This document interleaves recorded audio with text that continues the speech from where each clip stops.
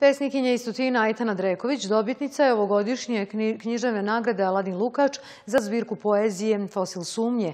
Njena knjiga bila je podnosi žirija najbolja od 17 književnih dela pristiglih na konkurs za ovu nagradu. Novopazarski kulturni centar i ove godine dodjeljuje književnu nagradu Aladin Lukač za istaknute mlade pisce i autore koji nisu stariji od 27 godina. Urednica dramskog programa u Novopazarskom kulturnom centru Elma Šabanović rekla je da je konkurs za ovu književnu nagradu raspisan još u januaru i da se prijavilo 17 autora. Žiri koji je ove godine bio određen da donese odluku o najboljima zaseda u sastavu Jasmina Ahmetagić, ona je univerzitetska profesorica, inače već tradicionalno predstavljena predsjednica žirija za ovu književnu nagradu.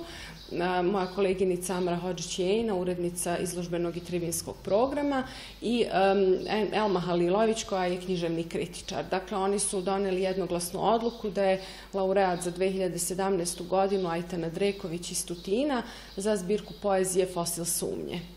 Eh, ono što, što je još važno da kažemo u, u evo, ovoj nekoj ranijoj najavi jeste da će književno veče, koje je inače organizovano tradicionalno u maju, eh, biti odloženo za september i eh, dakle imat ćemo u galeriji multimedijalnog centra književno veče i svečanu dodelu nagrade. Tom prilikom će Ajtena Dreković imati, imati mogućnost da promoviše svoje pesme, odnosno da ih kazuje javno.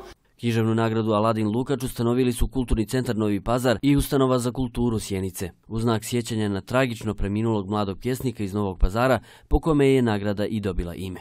Dodjeljuje se od 2004. godine i ušla je u kalendar književnih nagrada koje se dodjeljuju u Republici Srbiji.